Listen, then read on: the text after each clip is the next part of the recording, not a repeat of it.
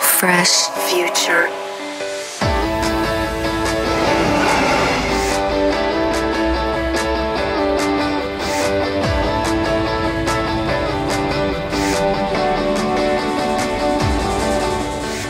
Made in Germany. Deutsche Maschinenbauer sind weltweit führend und bieten unter anderem den Beruf des Packmitteltechnologens in der Ausbildung an. Doch nicht nur das. Wie werde ich Modedesigner? Eine Modeschule gibt Tipps zum Einstieg und mit kreativen Fachrichtungen geht es weiter. Fotodesign, Grafikdesign und Mediendesign. Hierüber informiert die Lazi Akademie. Auch über die richtige Beratung zur Auswahl von Vorhängen und Teppichböden berichtet Katrin Wesel von der Jobs for Future. Los geht es aber mit einer Seifenkiste. Und zwar mit einer, die sehr professionell gebaut wurde. Sagen Sie mal, wo sitze ich hier eigentlich drin?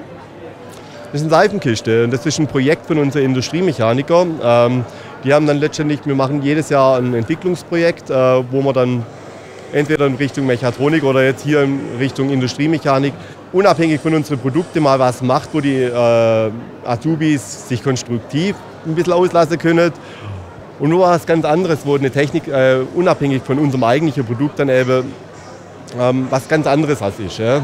Und das war so ein Projekt Seifekiste und der Hintergrund war dann, wir machen eine Seifekiste, wir wollen damit auf dem Rennen gehen und waren damit auch schon auf dem Rennen und ja, gewonnen haben sie nicht, aber der zweite Platz war es und war auch ganz okay. Ja. Die haben bestimmt nicht gewonnen, weil ich nicht drin gesessen habe. Womöglich, womöglich. Ja.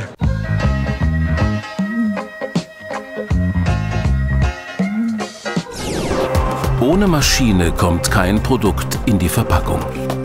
Verpackungsmaschinen Made in Germany decken die komplette Bandbreite ab, von einfach bis komplex. Je nach spezifischen Kundenbedürfnissen entwickeln die deutschen Maschinenbauer individuelle Lösungen für jedes Lebensmittel, unabhängig von Land und Region. Nahrungsmittelmaschinen und Verpackungsmaschinen gehören zu den Königsdisziplinen des deutschen Maschinenbaus. Als Exportweltmeister sind die deutschen Hersteller von Verpackungsmaschinen in nahezu allen Ländern der Welt unterwegs. Mit ihrem technischen Know-how leisten die deutschen Maschinenbauer auch einen erheblichen Beitrag, um den Verlust von Lebensmitteln zu reduzieren und die zunehmende Weltbevölkerung mit ausreichend Nahrungsmitteln zu versorgen. Denn Verpackung hilft, wertvolle Lebensmittel zu schützen und haltbarer zu machen. Weltweit. Frau Schwörers, Sie bilden auch aus. Jawohl, wir bilden verschiedene Berufe aus, im kaufmännischen wie im gewerblichen Bereich. Und unser Hauptausbildungsberuf, das ist der Packmitteltechnologe. Der ist relativ unbekannt, aber hat ganz vielseitige Möglichkeiten, nachher in der Verpackungsmittelbranche zum Einsatz zu kommen. Die Frau Schlath arbeitet in der Modeschule Brigitte Kehrer und möchte uns ein bisschen was zur Ausbildung erzählen. Sie bilden aus bzw. fördern Jugendliche in der Kreativität. Erzählen Sie mir ja. ein bisschen mehr. Also wir bilden Schüler ab der Hauptschule, 16 Jahre Mindestalter, zur Modedesignerin aus. Das heißt, die kommen zu uns, müssen noch keine Vorkenntnisse haben. Sie kriegen alles beigebracht. Wir fangen in allem bei Null an. Das heißt, Sie müssen keine Mappe einreichen. Das Zeichnen fängt an mit Strichmännchen und überhaupt. Man geht weiter auf den Entwurf. Der Entwurf wird ab dem dritten Semester auch im Computer mitgemacht, weil viele Firmen doch auch schon Computer haben. Äh, nicht alle, aber die Schüler müssen es einfach wissen. Dann geht es weiter über den Schnitt. Sie lernen Maß nehmen, sie lernen Schnitte erstellen, vergrößern, verkleinern können zuschneiden und können auch äh, das Ganze dann nähen. Wie lange geht denn so eine Ausbildung bei Ihnen? Die Ausbildung dauert bei uns zweieinhalb Jahre, fünf Semester und ist in Stuttgart und in Mannheim. Was für Firmen sind es denn, die sich dann melden? Möchten Sie mal ein, zwei äh, interessante Namen nennen? Gut, ich weiß nicht jetzt so schnell auf die Schnelle. Also Betty Barkley auf jeden Fall, bei Hugo Boss in Metzingen äh, sind einige, auch bei Marken. Äh, Im Stuttgarter Raum sind etliche Firmen. Es ist natürlich so, man muss in dem Beruf flexibel sein und überall hingehen. Was für Mindestvoraussetzungen muss ich denn sonst noch mitbringen? Eine gewisse Kreativität muss da sein und auch handwerkliches Geschick äh, und auch ein bisschen Talent. Also wenn man jetzt zwei linke Hände hat, muss man den Beruf nicht ergreifen. Das hat also keinen Sinn in dem Fall. Sind Sie das erste Jahr auf der Messe in Schwenning? Nein, wir sind von Anfang an hier. Wir sind jetzt das zwölfte Mal da. Und was sagen Sie, wie läuft es, wenn Sie auf der Messe waren? Also wir sind sehr zufrieden. sonst wird man wahrscheinlich auch nicht mehr kommen. Aber es bringt für uns viel. Die, die Schüler sind sehr interessiert, die hier vorbeikommen. Äh, wir merken es auch jetzt am Samstag, sie bringen die Eltern mit. Sie waren Donnerstag schon da, kommen heute wieder. Also wir finden es sehr gut hier.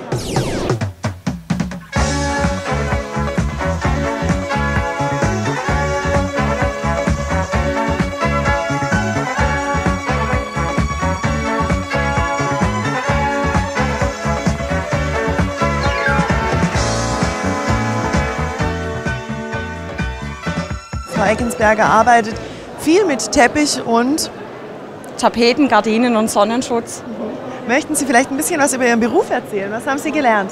Ich habe hier bei der Firma TTL gelernt, äh, vor knapp 14 Jahren. Ich habe die Einzelhandelskauffrau gemacht und mittlerweile ähm, bin ich Gebietsleiterin hier unten in der Region und ja, konnte eine tolle Karriere machen bei uns im Unternehmen. Sie haben auch äh, ganz nette Chefs. Ich frage mal hier, Ihr Name ist Jochen Belu, und Sie sind? Marktleiterin Villinge. Sie sagt, sie ist schon 14 Jahre bei Ihnen, dann muss es toll sein, gehe ich jetzt einfach mal davon aus. Machen Sie mal ein bisschen Werbung, bei Ihnen kann man auch Ausbildung machen. Bei uns kann man Ausbildung machen, Verkäufer im Einzelhandel oder Fach, äh, ja. Man macht Fach mit Tapeten, mit Gardinen, mit Teppichböden, innovativ, bunt, modern. Also da werden nicht nur Orten in die Regale geräumt und in der Kasse abkassiert, bei uns wird richtig was geleistet. Äh, innovativ halt. Ne? Das heißt, man muss die Teppichböden auch verlegen können. Das machen speziell unsere Bodenleger, auch selbst das könnte man bei uns mittlerweile als Ausbildungsberuf mitmachen. Ne? Und zu welchem Datum stellen Sie ein? Ab 1. September, wenn das neue Ausbildungsjahr beginnt, stellen wir wieder ein. Sind Sie das erste Mal auf der Messe hier? Wir sind zum ersten Mal da und ich glaube auch nicht zum letzten Mal. Ne? Und äh, was erhoffen Sie sich jetzt von der Zeit hier? Ja, Bekanntheitsgrad zu steigern, um natürlich den jungen Leuten zu zeigen, dass es auch bei uns Ausbildungsplätze gibt. Wir haben Filialen in Albstadt, Balingen, Tuttlingen. Auch dort suchen wir Leute und wollen einfach uns den Bekanntheitsgrad steigern. Ne? Und was müssen Jugendliche mitbringen, die gerne bei Ihnen arbeiten möchten? Also ein guter Hauptschulabschluss reicht. Realschulabschluss wäre natürlich gute Noten schon von Vorteil, klar. Was sind denn, jetzt komme ich wieder zu Ihnen, die Karrieremöglichkeiten? Was gibt es für Möglichkeiten, wenn jemand sagt, hier mache ich eine Ausbildung, ich würde gern bleiben, ja, es gefällt mir, wie Sie auch. Was haben die für Möglichkeiten? Ja, ähm, wir haben äh, verschiedene Positionen im Markt direkt selber. Man kann die Abteilungsleiterin der Gardine zum Beispiel werden, man kann stellvertretender Marktleiter werden oder selbstverständlich auch der Marktleiter selber dann. Das kann man relativ schnell erreichen, ähm, wenn man ein bisschen flexibel ist. Wir bilden direkt aus, das heißt, ähm, auch jede Niederlassung hat äh, einen direkten Ausbilder nochmal vor Ort. Das da kann man sich weiterentwickeln und dann bieten wir auch an den Handelsfachwirt, dass der dann noch begleitend zum Beruf dann ausgeübt wird. Was ist denn das Besondere hier in diesem Betrieb? Also das Besondere ist, dass ähm, wir viel Abwechslung haben. Das heißt, wir arbeiten mit den Kunden zusammen ziemlich eng, wir beraten vor Ort, wir gehen zu den Kunden nach Hause, wir montieren das Ganze auch. Also wir sind von vorne bis zum Ende sind wir komplett dabei eigentlich. Genau, wenn der Kunde zu uns kommt. Das heißt auch, man muss Menschen mögen, oder? Wenn man gerade so viel mit ihnen zu tun hat. Ja, das auf jeden Fall. Aber es macht auch Spaß. Ja. Lernt man denn Kommunikation und Menschenkenntnis ein bisschen während der Ausbildung? Ja, das auf jeden Fall. Also es gibt so viele unterschiedliche Leute, also da, die lernt man dann alle kennen.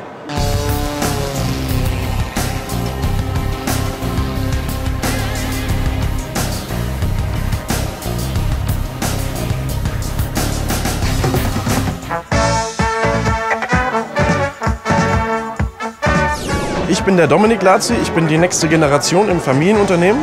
Das ist die Lazi Akademie in Esslingen, das ist eine private Medienakademie. Wir haben drei Fachbereiche, das sind einmal äh, Mediendesign, Fotodesign und Grafikdesign.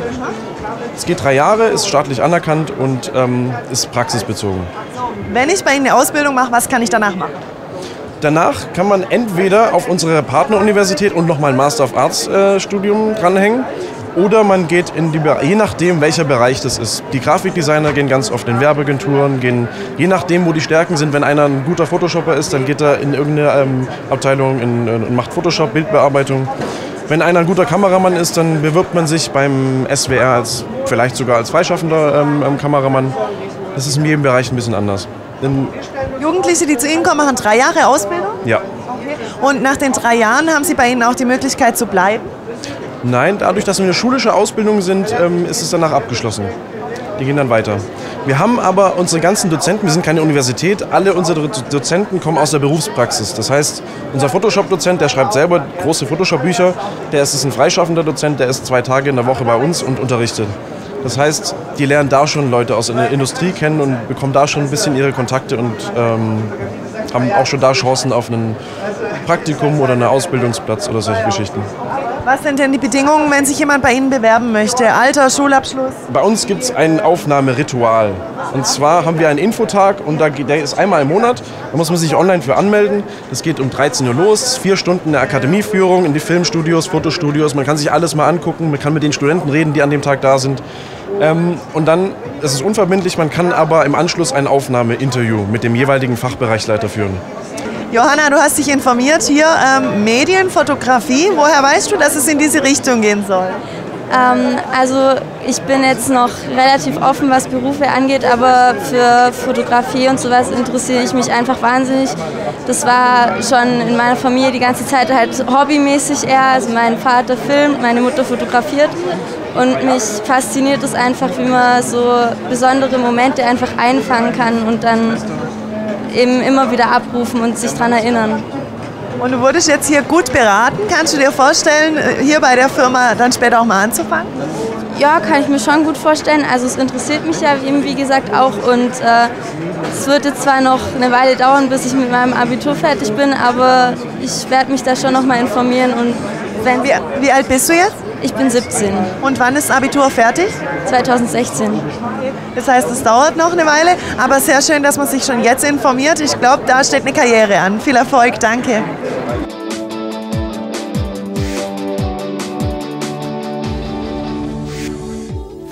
Kreativität war heute das Stichwort.